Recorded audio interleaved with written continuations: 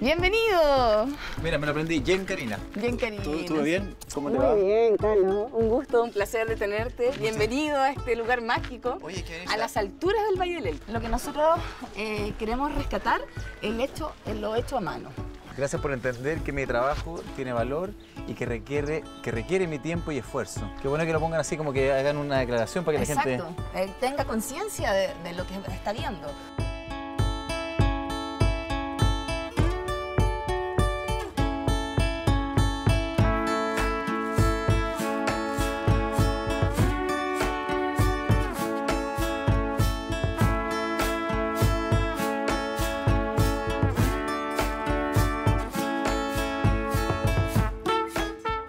¿Qué tienes preparado ahí? Esto es arcilla, e ingrediente terapéutico según la medicina holística. Todas las contracciones de inflamaciones, tanto internas y externas, son curativas por la arcilla. Entonces vamos a hacer una barroterapia. Oh, Eso es lo que vamos a hacer.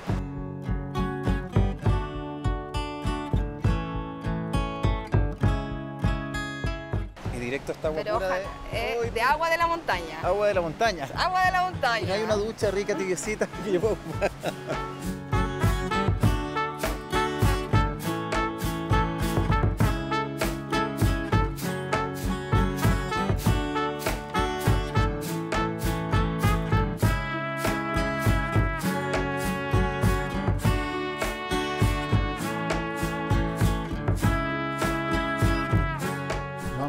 pasar aquí al Templo de los Sonidos.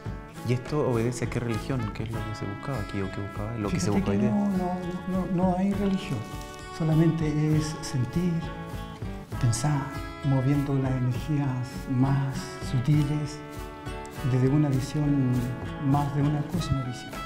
¿Y, y en los cuencos qué, qué protagonismo tienen en esto entonces? Cada sonido es un chakra. Y aquí tenemos la, la posibilidad de, de partir por qué chakra.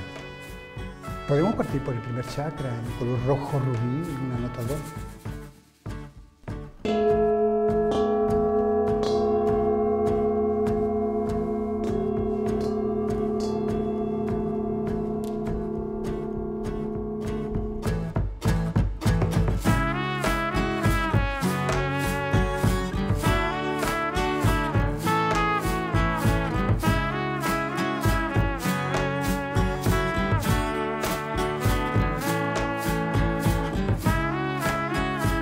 Tienen la oportunidad de estar en Valle del Elqui, lo que tienen que hacer es un tour astronómico. Astrooperadores son los que hacen este tour. Vamos a apagar las luces y ver cómo se ve en este valle místico las estrellas.